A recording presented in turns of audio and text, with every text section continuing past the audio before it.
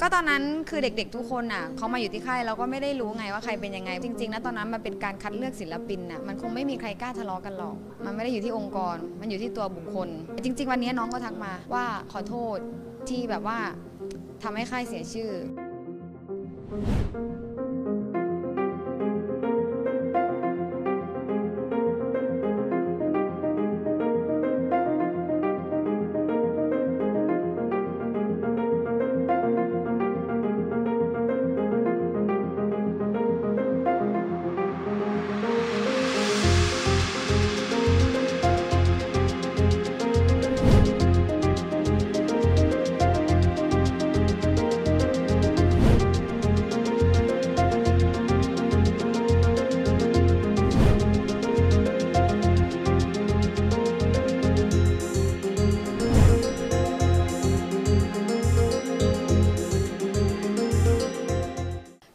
อนอยู่ที่ค่ายก็ดีค่ะก็ก็น่ารักก็น่าเอ็นดูนะก็ไม่ได้มีเรื่องตบตีอะไรกับคนในค่ายเลย ตอนตอนเราเห็นข่าวเราก็แบบตกใจเหมือนกันเพราะตอนนั้นไลฟ์สดอยู่ เออเออแต่ว่าสุดท้ายอะก็ก็ตกใจแหละ เพราะว่ามันมันเป็นเรื่องของความรุนแรงและตัวเจนนี่เองอะไม่ได้สนับสนุนความรุนแรงทุกรูปแบบอยู่แล้ว ก็เลยคิดว่าอะก็ก็เดี๋ยวรอดูว่าผลจะออกมาเป็นยังไงนะคะ ก็ ให้กำลังใจน้องคนที่แบบท้องด้วยแล้วแบบมีเด็กในท้องอะเราเองอะเราก็เคยผ่านการแบบสูญเสียลูกมาเนาะพอเราเห็นข่าวว่าเฮ้ยพอเป็นเด็กมีเด็กในท้องเลยเราก็ตกใจมากจริง ๆ จริงๆอะน้องตอนอยู่กับเพื่อนตอนอยู่ในค่ายใช่ไหมคะตอนนั้นเนื่องจากว่าเราใช้เวลากันไม่นาน น้องก็น่าเอ็นดูค่ะเพราะว่าทุกคนเนี่ยมาก็มาตามหาความฝันก็ก็มีเพื่อนสนิท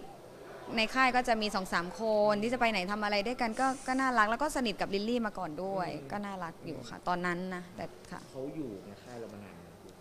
ไม่นานค่ะ เป็นซีซั่นซีซั่นสองสองเอ้ยขอโทษค่ะ เป็นซีซั่นแรก ๆ เลย อ่าซีซั่นแรกก็ไม่ระยะเวลาก็เท่าๆกับเพื่อนๆ แต่พอเจนนี่ประกาศปิดค่ายก็เลยแยกย้ายกันไปค่ะ ใช่ อ๋อคือเขาอยู่มาจนถึงปิดค่ายแล้วไหมพี่เจนอยู่ ของแป้งใช่ไหมใช่ค่ะ พอถึงจุดที่เจนนี่ประกาศปิดค่ายก็เลยออก ระยะเวลาประมาณเกือบปีเกือบปีค่ะ ก็ตอนนั้นคือเด็กๆทุกคนอะเขามาอยู่ที่ค่ายเราก็ไม่ได้รู้ไงว่าใครเป็นยังไงเพราะทุกคนก็ทาง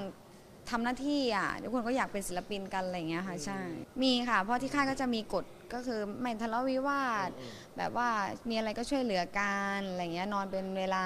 ทำอะไรอย่างเงี้ยค่ะอืมก็เด็กๆเขาก็เอาจริงๆนะตอนนั้นมันเป็นการคัดเลือกศิลปินน่ะมันคงไม่มีใครกล้าทะเลาะกันหรอกโยงมาใช่ว่าก็เห็นอยู่ว่าแบบเออออกจากค่ายนี้เป็นอย่างนี้นะจริงๆหนูมองว่ามันไม่ได้อยู่ที่องค์กร มันอยู่ที่ตัวบุคคล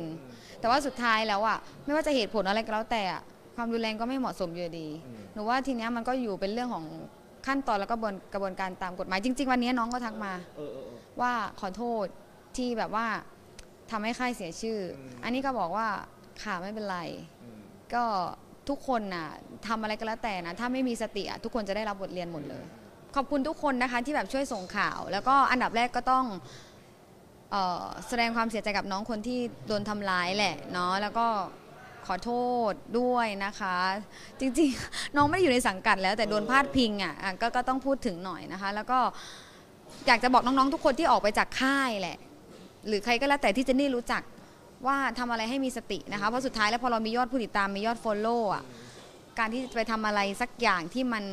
ไม่ดีอะมันจะทำให้คนอะจำได้ว่าเนี่ยคือเด็กเราอะไรเงี้ยก็อยากให้ทุกคนรักษาภาพลักษณ์ของตัวเอง เพื่องานเพื่ออนาคตมีข่าวแบบเนี้ยอนาคตมันไม่มันไม่ดีต่อตัวเองอะแหละอืมก็เป็นกำลังใจให้น้องคนที่โดนทำร้ายแหละก็ไม่ว่าจะเกิดอะไรขึ้นนะคะ ทุกคนทุกปัญหาสามารถเคลียร์ได้โดยไม่ใช้ความรุนแรงจริง ๆ